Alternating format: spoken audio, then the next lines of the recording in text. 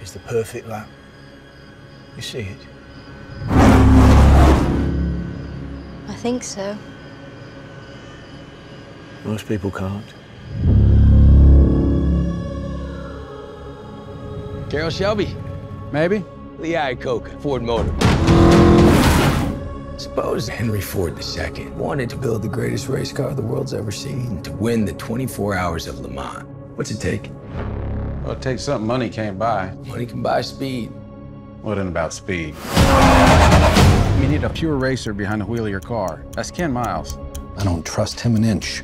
We heard he's difficult. No, no, Ken's a puppy dog.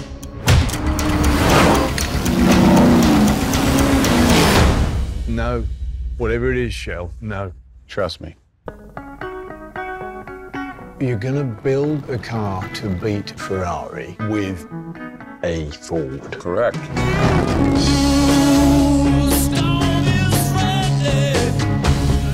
And how long did you tell them that you needed? Two, three hundred years?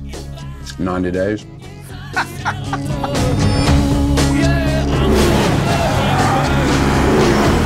This isn't the first time Ford Motors has gone to war. We know how to do more than push paper. Go ahead, Carroll. Go to war. Thank you, sir.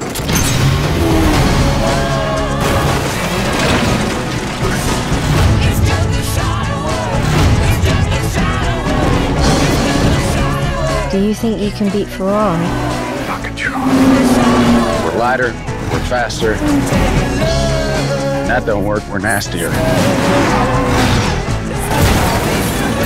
We're gonna make history. You ready? I was born ready, Mr. Shelby. Hit it.